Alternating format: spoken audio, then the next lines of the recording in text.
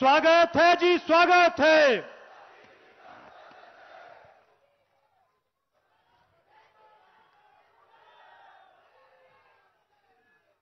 भारत माता की, भारत माता की, भारत माता की। तुहा सारे हमीरपुर आलिया जो मेरा प्रणाम।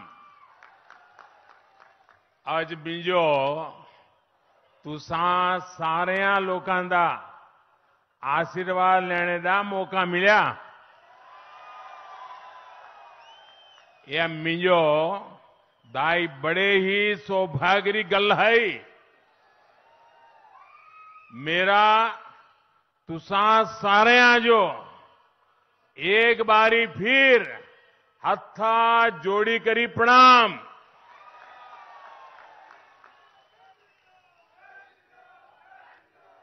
गौरी शंकर भगवान, गसोता महादेव, भगवान नरवेदेश्वर, भगवान मुरली मनोहर, माँ टौणी देवी, बाबा बालकनाथ और सभी देवी देवताओं को मेरा प्रणाम।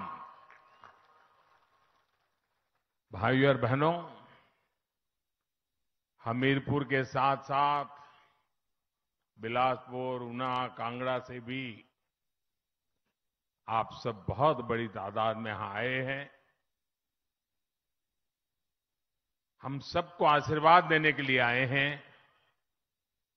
मैं आपका आभार व्यक्त करता हूँ। उसके साथ साथ टीवी के माध्यम से, मोबाइल फ़ोन पर ऑनलाइन जो भी साथी जुड़े हैं, उनका भी मैं अभिनंदन करता हूँ। साथियों, आपने हमारे लिए इतना समय निकाला। हम सभी सुजानपुर के लोगों के, हिमाचल के लोगों के बहुत बहुत आभारी हैं। साथियों, एक कार्यकर्ता के रूप में अनेक बार इस पूरे क्षेत्र में मुझे भ्रमण करने का, यहाँ को समझना, यहाँ की समस्याओं को समझना, यहाँ की शक्ति को समझना, अनेक परिवारों के साथ उठना, बैठना, यानी मेरे जीवन का एक क्रम था। मेरा सौभाग्य रहा। गुजरात के मुख्यमंत्री के रूप में भी यहीं पर इसी चौगान में मुझे आपके आशीर्वाद प्राप्त करने का अवसर मिला था। अभी प्रधान सेवक के रूप में फिर एक बार आपसे आशीर्वाद लेने आया हूँ। हमीरपुर की यादें अनगिनत यादें हैं। लेकिन अणु में जो पंडितादी हट्टी है, वहाँ की बेसन की बर्फ़ी,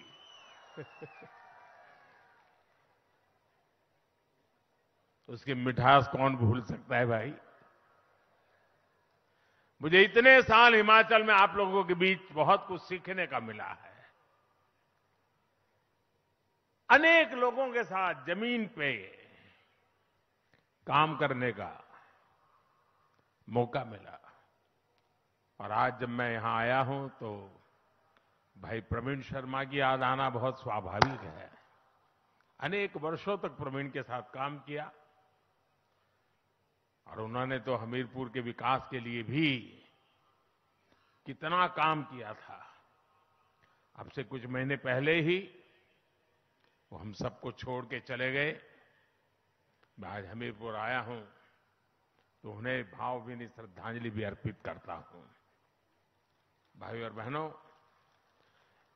जितना मैं हिमाचल को जानता हूँ, यहाँ के लोगों को जानता हूँ, ये कह सकता हूँ कि इस बार हिमाचल के लोग खुद ही ये चुनाव लड़ रहे हैं। खुद ही चुनाव का नेतृत्व कर रहे हैं और दोबारा जयराम जी की सरकार बनाने का यहाँ हिमाचल की जनता ने फैसला कर लिया है। भाइयों बहनों, हिमाचल में ऐसा नहीं हुआ। लेकिन हम ये भी जानते हैं कि हिमाचल के खून में ही नया इतिहास बनाना है।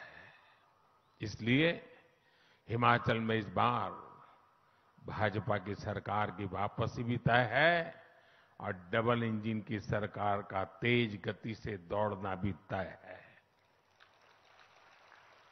साथियों, आपने इतने वर्षों के शासन में कांग्रेस ने जिस तरह हिमाचल के साथ विश्वासघात किया है, जो छल किया है उसके सबसे बड़े भुक्तभोगी हिमाचल के ही लोग हैं। कांग्रेस ने हिमाचल को हर बुनियादी चीज़ के लिए तरसा दिया था। वहीं भाजपा है, जिसने हिमाचल के हर घर घर को बुनियादी सुविधाओं से जोड़ने के लिए दिन रात ईमानदारी से प्रयास किया है। इस वजह से आज हिमाचल के लोग, पूरे देश के लोग भाजपा पर इतना विश्वास करते हैं। भाजपा पर देश का ये भरोसा लगातार मज़बूत होता जा रहा है। अभी दो तीन दिन पहले ही देश के कुछ राज्यों में उपचुनाव के परिणाम आए हैं। आपने देखा होगा कि जहाँ कभी भाजपा को बहुत कमज़ोर माना जाता था, वहाँ भी लोगों ने कमल का फूल बढ़ चढ़ करके खिला दिया है। लेकिन कांग्रेस जहाँ बहुत ताकतवर होती थी सरकार में होती थी, या तो कभी मुख्य विपक्षी दल होती थी। वहाँ की कांग्रेस की स्थिति दिनों दिन बिगड़ती ही जा रही है। जो क्षेत्र कभी कांग्रेस का गढ़ माने जाते थे, वहाँ से कांग्रेस का पूरी तरह से सफाया हो गया है। ओडिशा जितना बड़ा राज्य, कांग्रेस गायब। तेलंगाना, कांग्रेस साफ़, यूपी, बिहार ने तो बहुत पहले ही कांग्रेस को विदा कर दी है। इसकी वजह है, कांग्रेस द्वारा खुद को ईश्वर रूपी जनता, जनार्दन से भी वो अपने आप को बड़े सहनसा मानते हैं, बड़े मानते हैं। उसी का ये नतीजा है कि जनता लगातार उनको सजा दे रही है। और आज हिमाचल के लोग भी कांग्रेस को भली भांति समझ चुके हैं, जान चुके हैं। कांग्रेस को लगता है कि हिमाचल हमेशा पाँच साल उसके, पाँच साल मेरे वाले फॉर्मूले पर ही चलेगा। पाँच साल मैं मौज करूँ, पाँच साल तुम करो, फिर मैं पाँच साल के बाद आ जाऊँगा। यही फॉर्मूला लेकर के चले। और इसलिए कांग्रेस के नेता हिमाचल की, हिमाचल के लोगों की कोई परवाह नहीं करते। कांग्रेस को लोगों को लगता है कि कोई काम नहीं करेंगे तो भी पाँच साल के बाद तो लोग लाने ही वाले हैं, वापस आ ही जाएँगे। आप मुझे बताइए साथियों, कांग्रेस यहाँ पिछले पाँच साल से विपक्ष की भूमिका में है। लेकिन इस दौरान दिल्ली से कांग्रेस के ऑल इंडिया लीडर लोकसभा चुनाव के प्रचार को छोड़ करके क्या कभी आपका हाल पूछने के लिए आए थे क्या? कभी आए थे क्या? कभी आपका हाल जानने के लिए आए थे? कभी कोई मुसीबत आई तो वो आपके पास आए थे? भाइयों, बहनों, जरा पाँच साल का हिसाब निकालिए। लोकसभा में, राज्यसभा में हिमाचल से जुड़े कोई विषय आए हो? हिमाचल के लिए आवाज़ उठाई हो किसी कांग्रेसी ने? ऐसी कोई घटना आपने सुनी है क्या? भाइयों, बहनों, आपकी चिंता इनको पाँच वर्षों तक इसलिए नहीं आई क्योंकि इनको भरोसा था। कि हिमाचल तो पाँच साल के बाद कुर्सी दे ही देता है। मेहनत करने की क्या ज़रूरत है? लोगों की परवाह करने की क्या ज़रूरत है? रिवाज है, काम हो जाएगा। भाइयों बहनों, जो विपक्ष तक का काम जिम्मेवारी नहीं सिर्फ़ निभा सकते, विपक्ष के नाते आपके सवालों को लेकर के जो हलते भी नहीं है वे सरकार में आने के बाद आपके लिए क्या करेंगे भाइयों? ऐसे लोगों पे भरोसा कर सकते हैं क्या?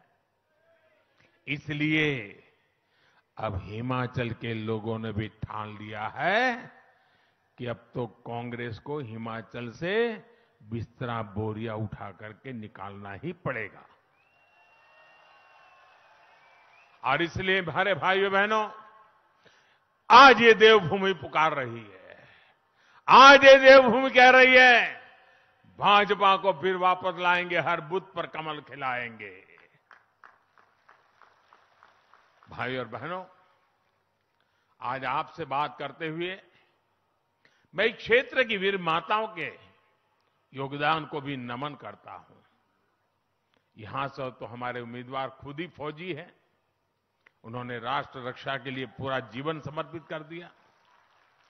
और मुझे अच्छा लगा कि मैं अभी आया हेलीकॉप्टर से यहाँ तो मुझे वीर जवानों के साथ नमस्ते करने का मौका मिल गया और बहुत बड़ी तादाद में मेरे फौजी भाई बहनों को देख करके, क्योंकि मैं तो हर दिवाली उनके बीच मनाता हूँ। भाइयों बहनों ये वीर संतानों को जन्म देने वाली वीर माताओं का कद तो शायद ही कोई चुका सकता है।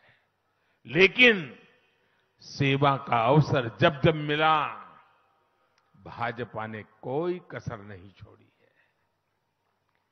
अभी मैं करगिल गया था दिवाली मनाने के लिए। तो मैं हैरान था। मैं और धूमल जी करगिल गए थे करगिल लड़ाई के समय। उस समय की सारी फ़ोटो की प्रदर्शनी लगाई थी वहाँ के लोगों ने। और वहाँ जो आज जो जवान है उनको भी वो पुरानी बातें याद थी कि धूमल जी और मोदी जी हमारे बीच में युद्ध के मैदान के समय आए थे।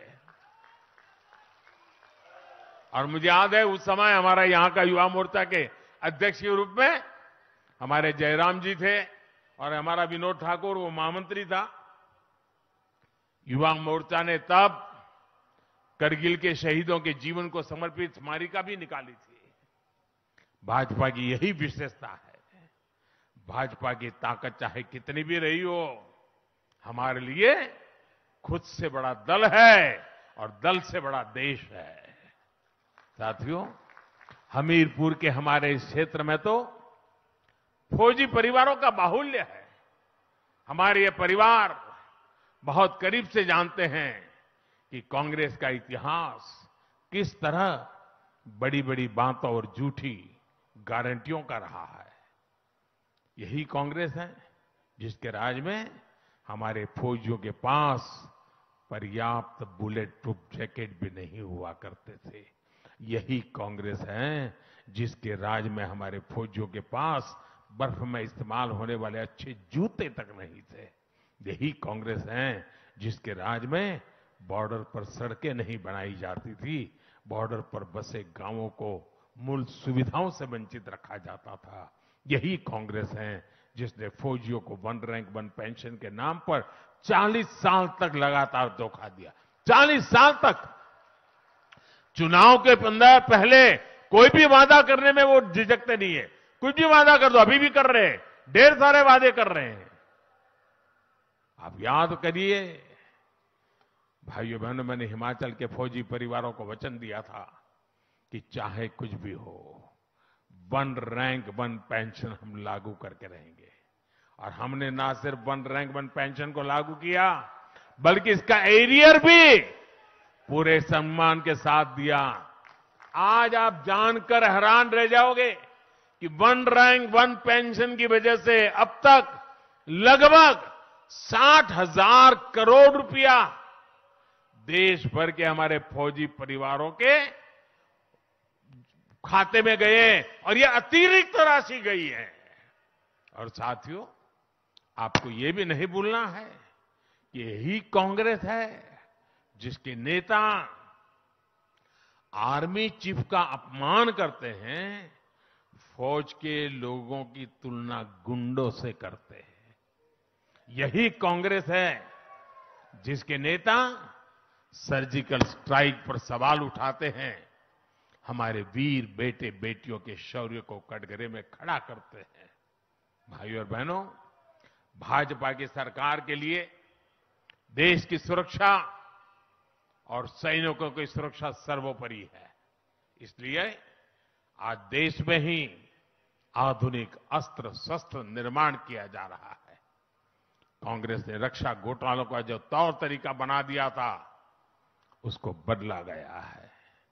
अब तो बेटियों के लिए भी, तीनों सेनाओं के हर मोर्चे भी, उसको भी हमने खोला खोल दिया है।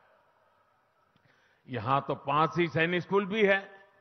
हम सैनिक स्कूलों की संख्या भी बढ़ा रहे हैं और इनमें बेटियों को भी दाखिला मिल रहा है। हमारी सरकार, पुलिस फोर्स और केंद्रीय सुरक्षा बलों में भी बेटियों को बहुत प्रोत्साहन दे रही है। मैं एक और आंकड़ा दूँगा। आप बहुत ध्यान से सुनिएगा। आज़ादी के बाद 2014 तक देश में पुलिस सेवा में लगभग एक लाख बेटियाँ थी। यानी इतने सालों में एक लाख बेटियाँ। हमने बीते आठ साल में ये संख्या लगभग सवा दो लाख हो चुकी है, सवा दो लाख। यानी दो गुरु से भी ज़्यादा इसी प्रकार केंद्रीय बलों में भी बेटियों की भागीदारी सत्रह हज़ार से बढ़कर के पैंतीस हज़ार से ज़्यादा हो चुकी है। और ये लगातार बढ़ रही है। साथियों, बीते आठ वर्षों में महिलाओं की सुविधा, बेटियों की बढ़ाई और कमाई के लिए केंद्र सरकार ने लगातार काम किया है। इन्हें अब हिमाचल भाजपा नई बुलंदी दे रही है। आपने देखा होगा कि भाजपा ने महिलाओं के लिए इस बार एक अलग संकल्प पत्र जारी किया है। और इसके लिए मैं हिमाचल बीजेपी को बधाई देता हूँ। इसमें बेटियों की पढ़ाई लिखाई से लेकर हर प्रकार की सुख सुविधा को बढ़ावा देने का रोडमैप है। ये दिखाता है कि भाजपा महिलाओं की समस्याओं और उनसे जुड़े विषयों को लेकर कितनी प्रतिबद्ध है। माताओं, बहनों, बेटियों के लिए ऐसे काम तब किए जाते हैं जब मन में सेवा का भाव होता है, माताओं, बहनों, बेटियों की समस्याओं का एहसास होता है। आज पीएम आवास की घर में महिलाओं को हिस्सेदारी देने वाली भाजपा है। रसोई के धुएँ से घर को मुक्त कर गैस कनेक्शन देने वाली भाजपा है। हर घर नल से जल देने का अभियान चलाने वाली भाजपा है। घर घर शौचालय की सुविधा बनाने वाली भाजपा है। घर घर सौभाग्य का बिजली कनेक्शन पहुँचाने वाली भाजपा है। कोरोना के इस मुश्किल समय में हर गरीब को मुफ़्त अनाज देने वाली भी भाजपा ही है। भाइयों बहनों मेरा पूरा विश्वास है, देश में जो भी छोटे राज्य हैं, जो हिमालयी राज्य हैं, उन सब के लिए हिमाचल प्रदेश अग्रिम पंक्ति का रोल मॉडल बन सकता विकास के मामले में, टूरिज़्म के मामले में, हिमाचल सभी छोटे राज्यों के लिए नई प्रेरणा बन सकता है। पहाड़ी राज्यों में जो कनेक्टिविटी होती है, रोड, रेल, रोपवे, इन सब चीज़ों में हिमाचल प्रदेश एक रोड मॉडल, रोल मॉडल के रूप में आगे बढ़ सकता है। और हम उसी तरफ़ पिछले पाँच साल में लगातार ले जा रहे हैं। और आने वाले पाँच सालों में ये चीज़ें हम सिद्ध कर करके रहेंगे, ये मैं आपको विश्वास दिलाने आया हूँ। जिस तरह से राष्ट्र रक्षा में हिमाचल प्रदेश अग्रिम पंक्ति में खड़ा रहता है, उसी तरह से विकास के मामले में भी उसे अग्रिम पंक्ति में खड़ा होना है। हमें हिमाचल को पूरे देश के लिए एक रोल मॉडल के रूप में विकसित करना है। पिछले पाँच वर्षों में दिल्ली और हिमाचल में भाजपा की डबल इंजन सरकार ने इसी दिशा में प्रयास किया है। ऊना में ट्रिपल आईटी, हमीरपुर में एनआईटी, बिलासपुर में हाइड्रो इलेक्ट्रिकल कॉलेज और देहरा में केंद्रीय विश्वविद्यालय है। बिलासपुर में एम्स बन गया है और हमें हमीरपुर में मेडिकल कॉलेज है। यानी शिक्षा हो या स्वास्थ्य डबल इंजन से डबल विकास हो रहा है। यही नहीं इंफ्रास्ट्रक्चर और इन्वेस्टमेंट के मामले में भी डबल लाभ हिमाचल को मिला है। देश में सिर्फ़ तीन राज्यों को बल्क ड्रग पार्क के लिए चुना गया है। इसमें से एक ये मेरा हिमाचल है और ये भी हमीरपुर संसदीय क्षेत्र में बन रहा है। धौला सिद्ध प्रोजेक्ट बनने से यहाँ बिजली तो बनेगी ही, रोज़गार भी बढ़ेंगे और किसानों, पशुपालकों को कमाई भी बढ़ेगी।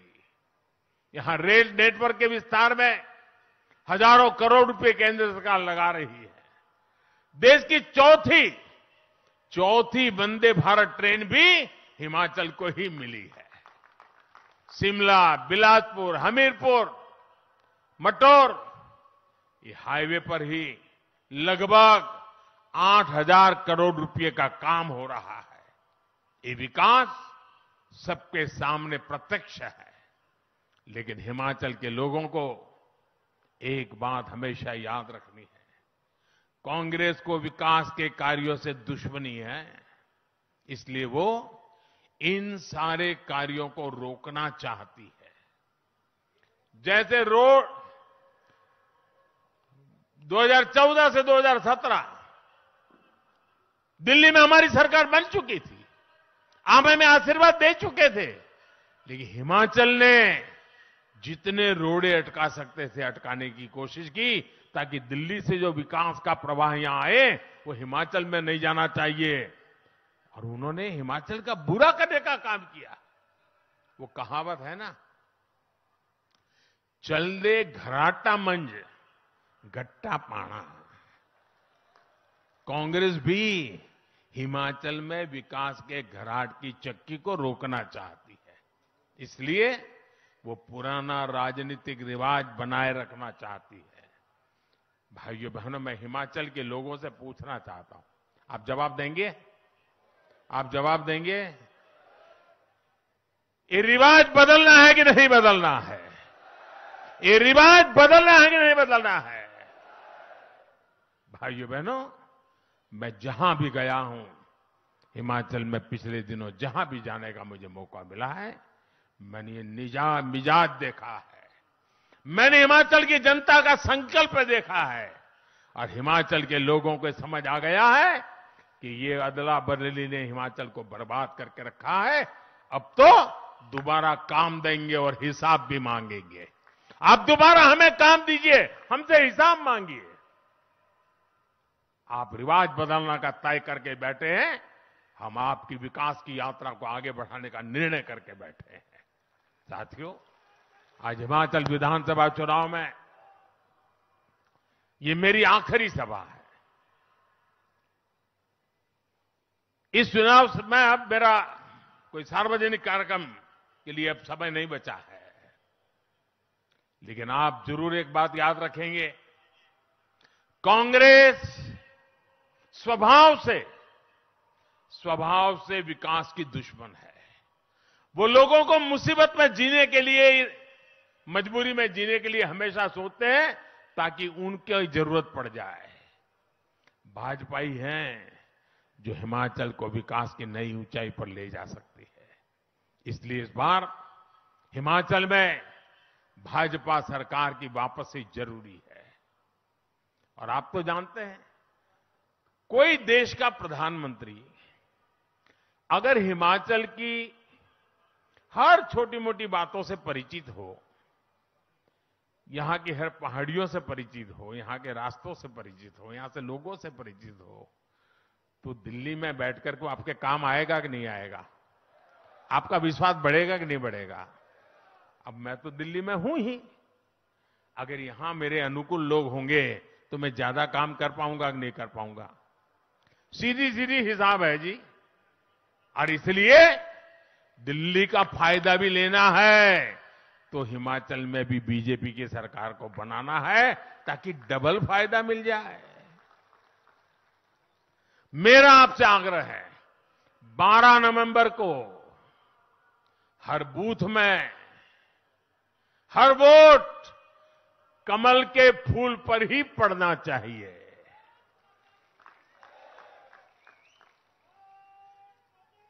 मेरी ये बात घर घर पहुंचाओगे आप? एक एक मतदाता को मिलोगे? घर घर जाकर के कमल के फूल पर बटन दबाने के लिए समझाओगे?